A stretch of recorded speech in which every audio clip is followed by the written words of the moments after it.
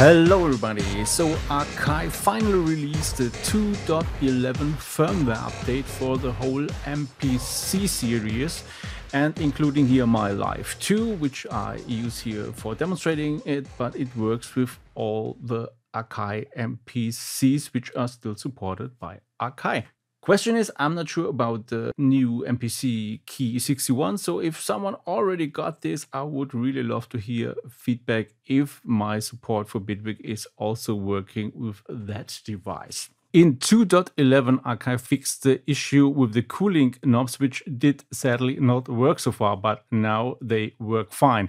And what can you do with it? You can control the tracks, volumes, and the parameters. This is always the same across these three screen modes because this works more like a data pool, which I fill with data and then firmware arranges this on a screen. So the buttons always do the same, no matter which of of the three modes you have selected. And what the knobs do are here shown if you long press the Q-Link button. So you can see the first two rows, so the first two sets of Q-Link parameters always control the currently selected page of tracks and the other two rows, three and four, always control the currently selected parameter bank. Let's see how that works. Start playback and here you can see that we can change here the first four tracks.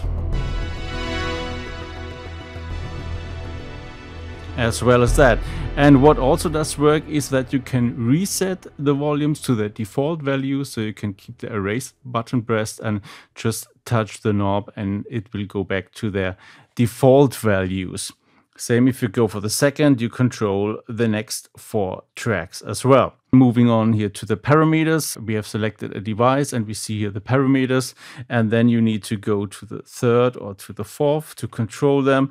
And then you can also use those knobs to change the parameters as well. So, and as I said, this works in all the modes. So if you are here in the launch thing, you still can change the parameters of the selected device, which I think is a bit of an advantage. And also here the erase button does work. So you can also here keep the erase button pressed and it will go back to the default value if you just touch them, which is, I think, pretty helpful for a live performance. So, a little update for that, but I think great extension that this is finally working. It makes it even a better tool as a controller for Bitwig as well as Reaper.